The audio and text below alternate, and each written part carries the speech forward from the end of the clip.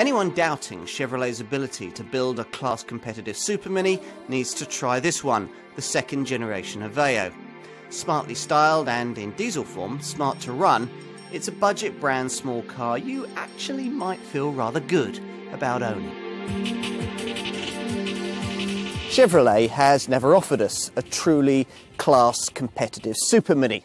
But given that the brand has only been represented on these shores since 2004, maybe we can forgive it that. The Marque's uh, and Spark City cars have attracted a reasonable following, but buyers looking for something a little larger and Fiesta-sized had, until the end of 2011, uh, merely been offered a series of fairly lightly disguised variations on the old Daewoo Kalos, and that's a design dating all the way back to 2003 which was fine for emerging Asian markets, not so good for more demanding Europeans. People who the company hopes will take this car, the second generation Aveo launched early in 2012, much more seriously. On paper, it certainly seems as if the designers, the engineers, and the marketing people have ticked all the right boxes. There's a more distinctive look, a more efficient range of engines that at last includes some properly frugal diesel options and the usual emphasis on high spec and value pricing to enable this model to properly compete against uh, competitors from fellow budget brands like Skoda, Kia and Hyundai. And it's all supposed to be bound up in a product that promises to save you money without constantly reminding you of the fact. If that sounds appealing, then stay with me. We're going to put these bold claims to the test. Now, if you're a typical Aveo buyer, then you probably won't care very much about what goes on under the bonnet or about how adept your car is likely to be in tackling your favourite twisty B road. In fact, you probably won't have a favourite twisty B road. So you won't care very much that there are no really performance-minded engines in the range, that the steering is a little light, or that there's a little more body roll than you'd find perhaps in something more Fiesta-like. Instead, you'll be more interested in things that have a lot more day to day relevance, like standards of ride and refinement that are, that are, as good as just about anything else in the class, including super minis that are a lot more expensive than this one.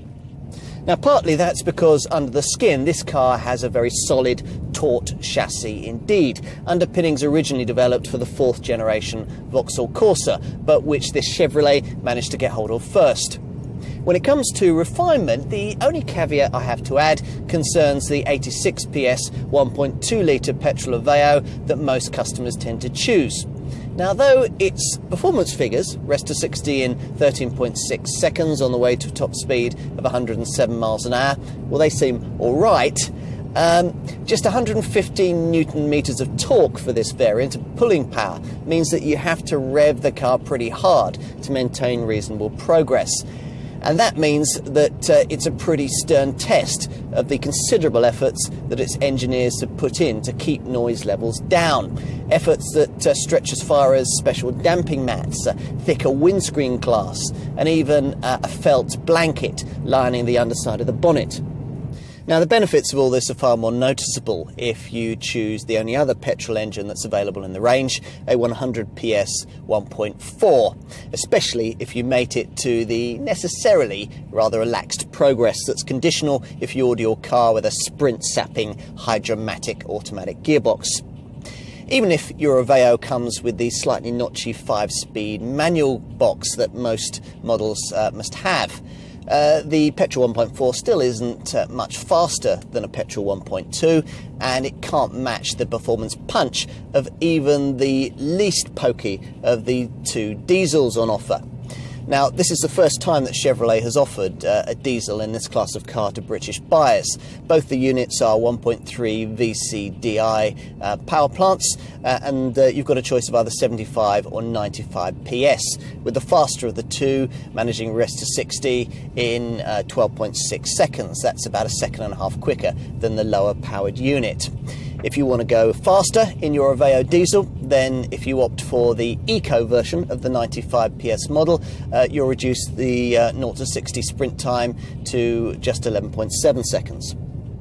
The compliant ride I mentioned earlier makes this a pleasant car to use around town, an environment where the light power steering comes into its own.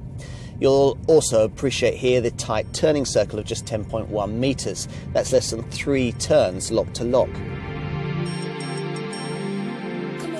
Now, Chevrolet says it's a bit fed up with small cars being cute and cuddly. The intention instead with this model to create something bolder, more striking, and with a dose of attitude.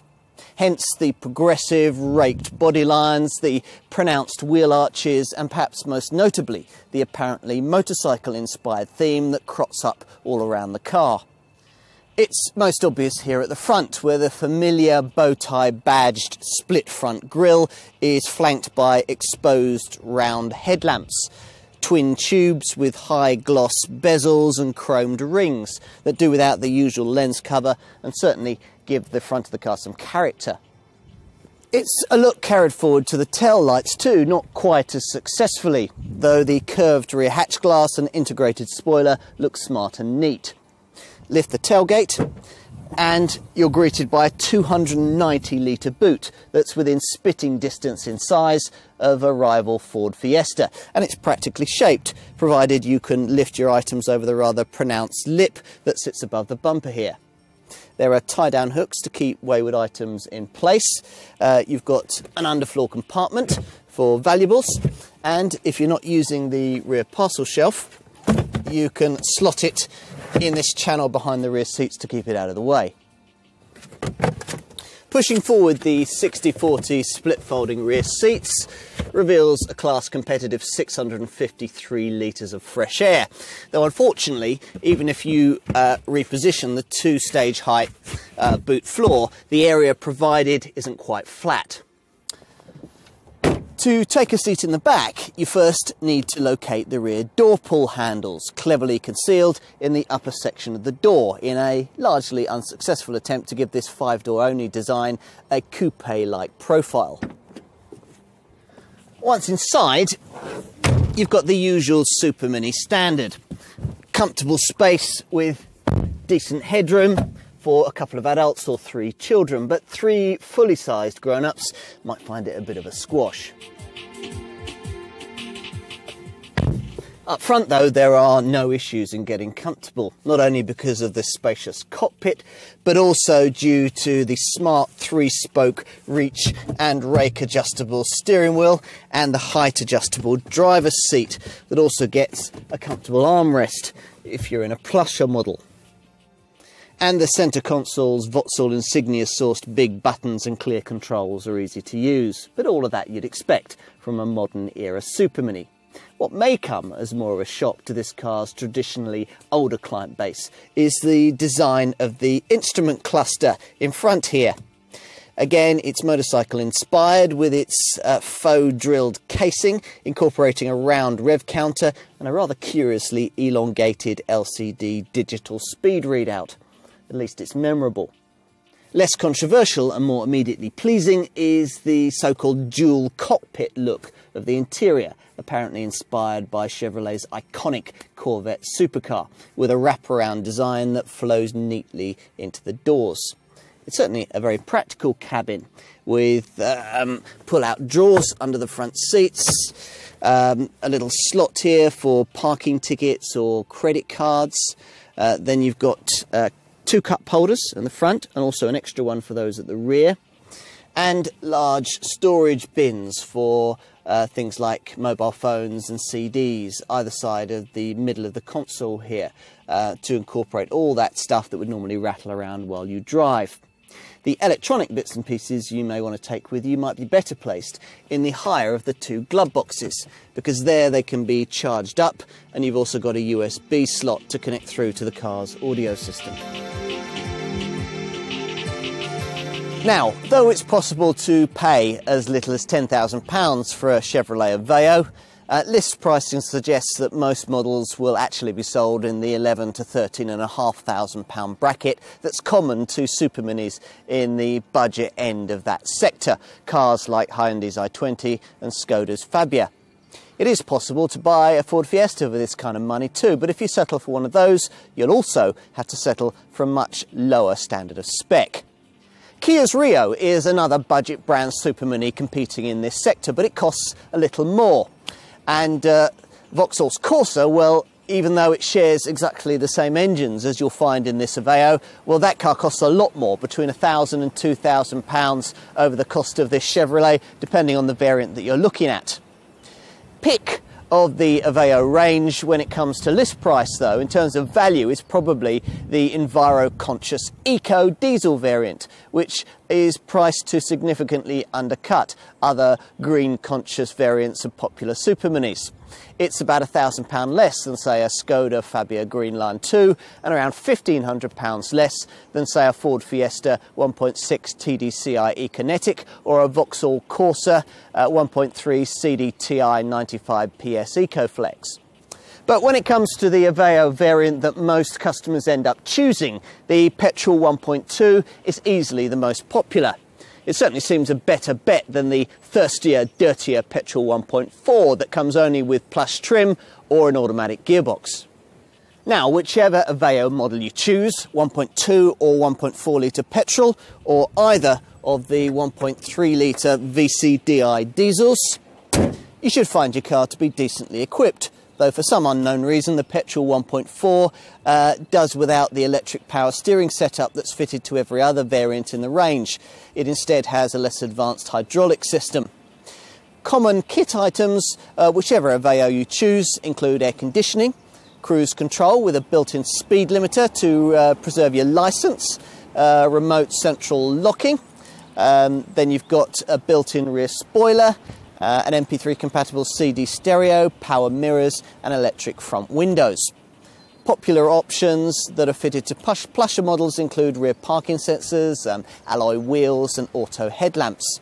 Rather surprisingly, sat-nav isn't available even as an option. Safety-wise, there's plenty to justify this car's five-star Euro NCAP rating. There are single stage airbags for both driver and front seat passenger, roof rail airbags and side impact bags, so a total of six in all. The roof has been designed to withstand four times this car's weight, and there's a releasable pedal assembly to protect against lower extremity injury. Plus, at the rear of the car, uh, it's all been designed to protect the fuel tank in the event of a rear impact. Now, to prevent you having to put all of this stuff to the test, all the usual electronic driving aids make the team sheet. So you've got ESC stability control and an ABS anti-lock braking system made more effective by electronic brake force distribution and uh, a brake assist system to help you in emergency stops.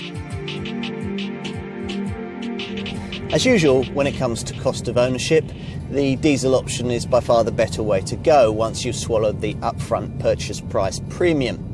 With the Aveo, though, the gulf between petrol and diesel is even wider than usual.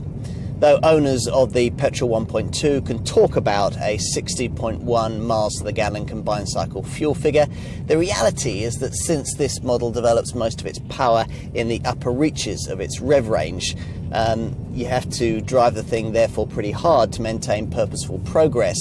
Um, I'd question whether that's actually really representative of what owners are likely to achieve on a day to day basis it may actually be uh, the pokier Petrol 1.4 that in real terms achieves uh, a better mileage figure.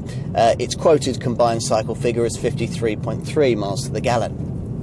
1.4 litre petrol Aveo buyers are the only ones who get the option of the brand's supposedly high-tech, Hydra-Matic six-speed auto gearbox. Uh, a unit that seems to drain the 100 PS engine quite dramatically. Uh, fuel consumption falling by 10 miles to the gallon, and CO2 returns uh, falling from 125 to 147 grams per kilometre. Rather a lot for such a small car. Clearly, the Chevrolet engineers have placed their emphasis uh, for efficiency in other areas, partly with the petrol 1.2 that achieves a creditable 111 grams per kilometre of CO2, but mostly with the uh, two diesels on offer, both uh, the same 1.3 litre uh, units that you'll find in a Vauxhall Corsa, developing either 75 or 95 PS. The lower powered unit develops 74.3 miles per gallon on the combined cycle and puts out uh, 99 grams per kilometre of CO2. But I think I'd be tempted to stretch a few hundred pounds more and go for the 95 PS version. Now, you can order this 95 PS diesel uh, either in standard form uh, in which guise it's the only Aveo in the range to get a six speed manual gearbox. Or uh, you can opt for it in uh, green fingered eco guise.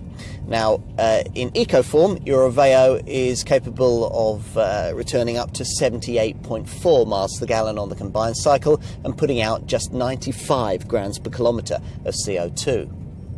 These kinds of figures are aided by a surprisingly lengthy range from the 46 litre fuel tank uh, and are aided by uh, a very slippery 0.30 CD drag factor and a start stop system that cuts the engine when you don't need it when you're stuck in urban traffic or waiting at the lights. Peace of mind comes with a five year, 100,000 mile warranty and a year of roadside assistance. And insurance groupings range between groups 5 and 10 on the 1 to 50 grouping scale. A budget brand Super was once a last resort when you couldn't stretch to the safe conformity of a Fiesta, a Corsa, or a Polo. Now look at it. Cutting edge styling, the option of super frugal diesel power, and a high tech platform that, in this case, more expensive Vauxhalls can only copy. There is, in short, no doubt that with this second generation Aveo, Chevrolet has clearly upped its game. Now, whether all this will be enough to catapult this car into contention with the established Super Mini class leaders is debatable, but it's certainly good enough to stand this car in good stead against Chevrolet's targeted rivals in this segment, cars like Skoda's Fabia, Kia's Rio, and Hyundai's i20. Even if you don't like all of the characterful touches that do so much to set this model apart from its rather dull predecessor. True, you can buy greater quality, sharper handling, or even extra gadgetry from other rivals in this sector, but in every case, it'll cost you more, usually much more. In contrast, the Aveo manages at an affordable price to offer more of what you really need in a car of this kind, with greater panache than any small Chevrolet before it. And for many potential buyers, that'll be all they need to know.